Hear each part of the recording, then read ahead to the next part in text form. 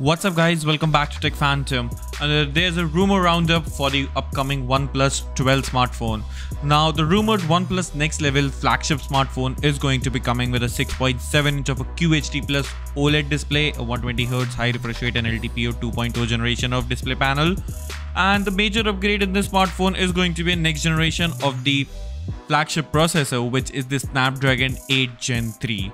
Now indeed the front of the phone is going to be of curved display and it will be much more rounded and curvy smartphone when compared to the OnePlus 11 Pro. And also there is still back the Hasselblad branding with the quad camera setup with a 50 megapixel of a primary camera, a 50 megapixel of an ultra wide camera, and this time around a 64 megapixel of a periscopic camera is indeed yet to be coming in the smartphone alongside the telephoto 5x zoom.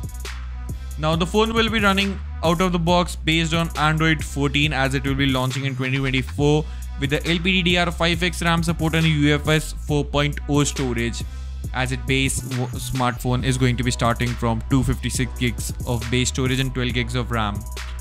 Well, for this such solid hardware, we do need a solid battery life. So the phone will be coming with a 5000 mAh battery with a 150 watts of super wired fast charging. So you can indeed charge your phone just under 15 minutes.